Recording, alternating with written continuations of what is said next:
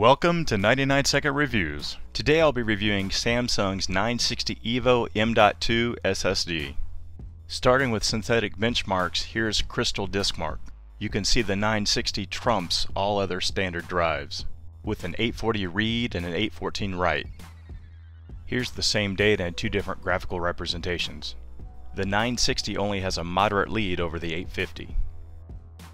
Moving on to HD Tune, the 960 only wins by 35 megabytes per second, and both drives show excellent access times.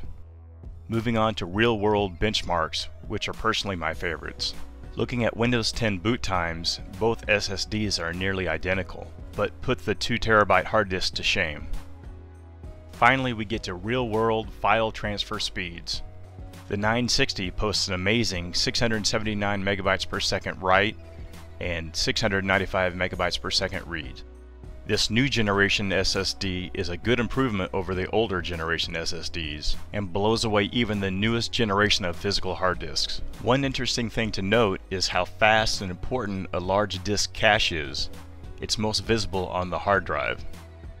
At $144, the 960 is a great upgrade from any physical disk you're currently running.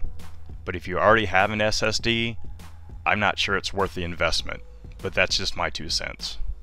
You'll have to make your own decision whether it's worth the investment for you.